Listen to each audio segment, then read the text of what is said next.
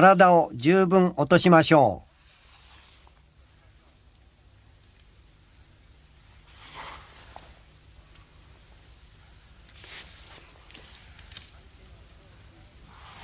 相手の胸をついて受けながら内懐に素早く飛び込んでつきます。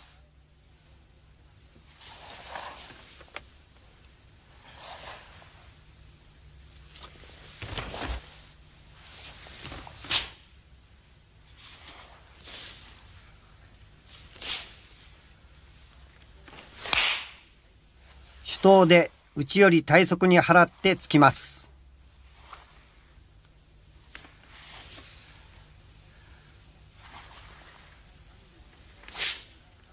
半身猫足立ちより半歩下がる動作は相手との間を取り反撃に出ます。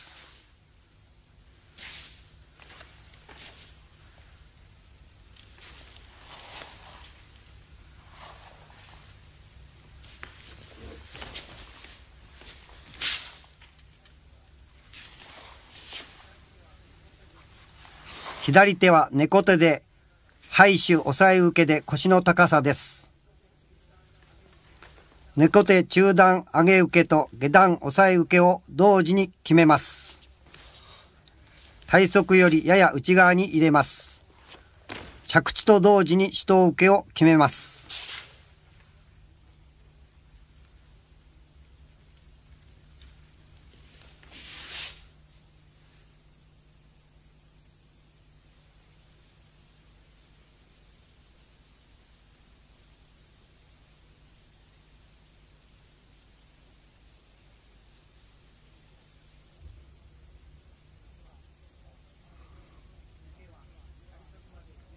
受けは体側まで十分受けます。目は相手を見ます。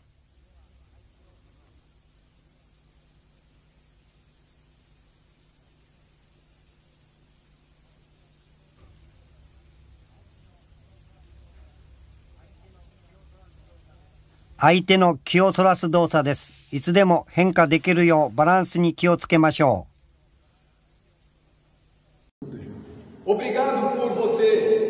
Assistir ao nosso vídeo. Se gostou, deixa um like. Não se esqueça, isso é importante para nós. Ajuda o canal a crescer e faz com que o YouTube apresente esse nosso conteúdo a mais pessoas. É, se puder, compartilhe a sua rede social, comente, faça alguns comentários sobre o conteúdo ou sobre o conteúdo que você gostaria de ter. A gente analisa tudo aquilo que é comentado conosco e serve como uma base para saber o quer assistir ou quer saber.